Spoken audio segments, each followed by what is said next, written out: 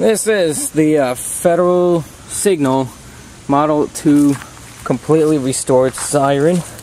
I had the motor rewound, rewound, and uh, looks practically brand new, especially for its age, around 86. I was able to get the nut back on, as you can see in there. did a pretty good job in there.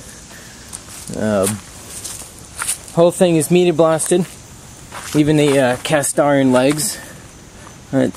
And to uh, prevent them from rusting, actually had a prime them, which is pretty much just uh, zinc chromate, same stuff that is used on aircraft. So, the motor is rewound. Commutator is uh, redone. It just looks a little darker because I just like to spin it a lot. And uh, new brushes, and hopefully that they are the correct ones, unlike the other ones. Um, I I got bearings for it. However, the uh, inner diameter was a little too small, or a little too big, I should say, and the shaft would just fit too loose on this. So I just had a no choice but to put the old ones back on until I get the correct size bearings. Uh, take a look at the wiring job. Yeah, it's not the best, but it'll work. I just want to see if it if it uh, spins so I just twisted them together and I got 120 volts. And if it spins, we'll see. Maybe I'll put uh, 240 once I get access to uh, 240 volts because the dryer and air conditioner and stuff. Alright, so here we go. I'm only going to plug it in for a few seconds because of the neighbors. Here we go. What the hell? Let's try that one more time.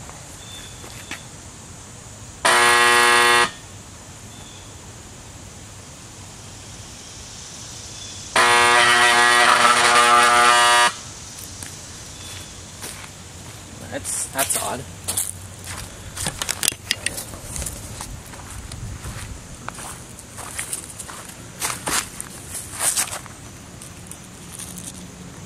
First one, I just had this thing rewound and it's making that noise.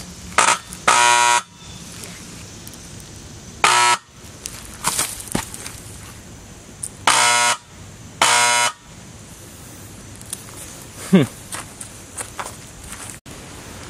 My theory is that they probably wired this for a direct current. I'm guessing that they have wired it for direct current because when I hook it up to a a 12 volt battery. When I hook it up to a 12 volt battery, this is what happens.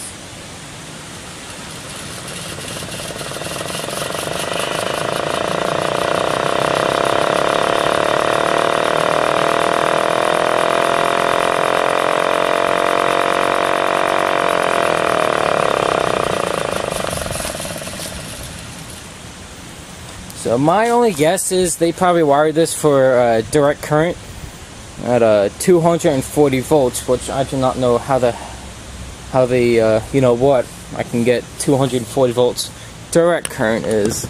So I don't know if they wired it mistaken, mis uh, incorrectly, or if the or if the original motor that was in here before I sent sent it over was direct current.